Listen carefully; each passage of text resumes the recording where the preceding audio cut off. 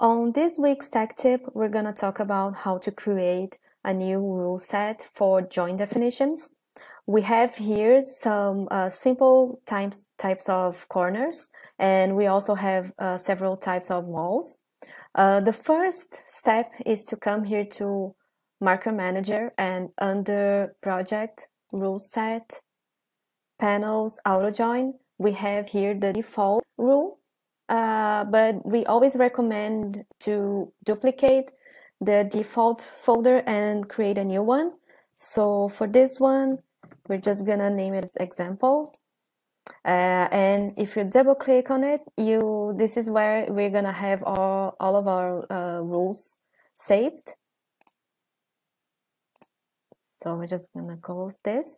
And to create the, the new rule sets uh, for joins, you don't even have to have panels on the, you just have to select the corner and then come here to joins and then create auto join rule.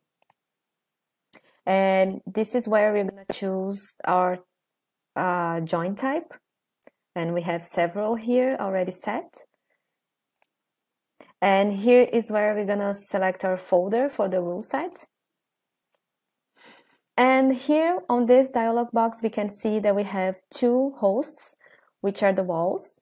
Uh, the main host, this wall here, uh, if you want to, the rule to be applied to all kinds of walls, we can just click on the house symbol here and select the blank space, which means that on for this rule, uh, this type of join will be applied to all types of walls uh, you do this for bo uh, both host uh, 1 and host 2.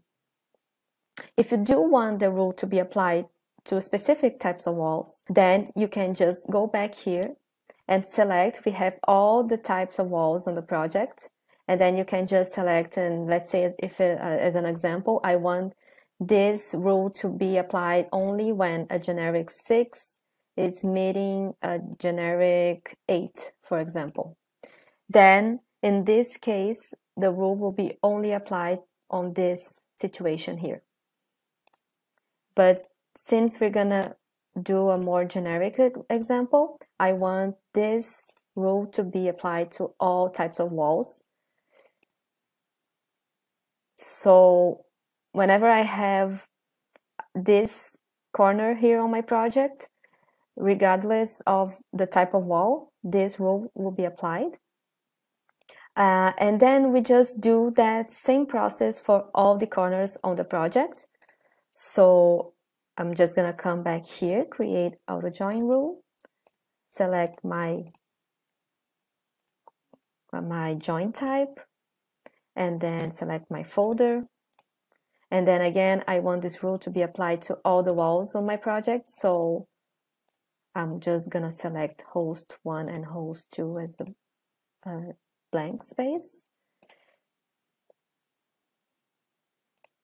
And after doing that process throughout all my uh, corner types on my project, I can just mass select everything and go to joins and then auto join. And here is where I'm gonna choose my rule set example. And now we have the joins applied to the walls. And the second step, the step will be to create the panels. Here on uh, the example below, I have already uh, panelized walls and the corners are the same as the examples uh, above. So if I mass select all of my project and I go again here to auto join and select my rule set, all the joins will be applied to the corners. So this means that if you have a very big project, but you can always create a rule set and then you can apply all the joins all at once. And this will save you a lot of time as long as each corner has uh, its own rule.